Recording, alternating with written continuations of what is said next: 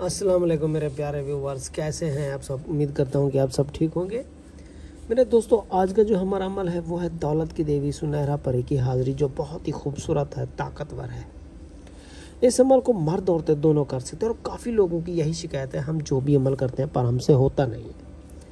मेरे दोस्तों, एक तो पहली बात यह है कि आप इस वीडियो को पूरा वॉच किया करें। दूसरी बात यह है कि इजाज़त आपने लाजमी लेनी है, ताकि मैं आप पर नज़रसानी करूँ। और दूसरी बात यह है कि आपने ज़क़़त भी इस अमल में लाजमी देनी है, क्योंकि किसी गरीब मस्किन को खाना खिला दो या अपनी छत पर दाने वगैरह डाल के परिंद वगैरह को खिला दें, ये मेरी बात गौर से सुने।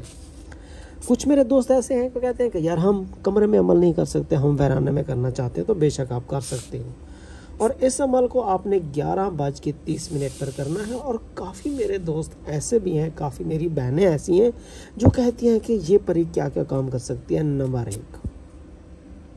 अगर आप अपने महबूब को ताबे करना चाहते हो, जिससे प्यार करते हो, जिस पर आप लाखों, हज़ारों रुपए लुटा देते हो, फिर भी वो लड़की आपको घास तक नहीं डालती। अगर आपको कोई लड़की पसंद आती है, चाहे वो अनजान है, या आपकी कोई रिश्तेदार है, या कोई मोहल्ले वाली, आप उसको भी ताबे कर सकते हो। सिर्फ़ इस परी की मदद से जो बहुत ही ताकतवर है। दूसरी बात यह है कि आप इससे बेशुमार दौलत हासिल कर सकते हो, जायज़, नाजायज़ काम करवा सकते हो। और मेरे दोस्त ऐसे हैं, कुछ प्राइस बॉन्ड के नंबर वगैरह लेना चाहते हैं तो वो भी इनसे ले सकते हो। अगर आपके कारोबार में बंदिश है तो वो भी ख़त्म करवा सकते हो। अगर आप पर कोई काले जादू के या सफली अमल के या नूरी इल्म के कोई असरात हैं, वो भी ख़त्म कर सकते हो। अगर आप मनपसंद शादी करना चाहते हो तो वो भी आप कर सकते हो।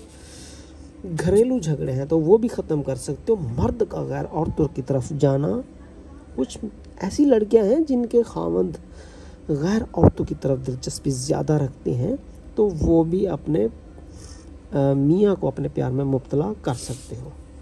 बाकी ये जो तादाद है सिर्फ़ तीन सौ बार है। दो लफ्ज़ का मंत्र है, बिल्कुल आसान। और मज़े की बात यह है कि जब आप इसको हाजिर करोगे, आपको कोई साइड इफ़ेक्ट नहीं होगा।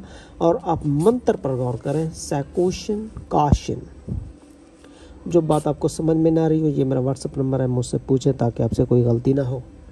अब मैं इजाज़त चाहता हूँ, खुदा हाफिज़।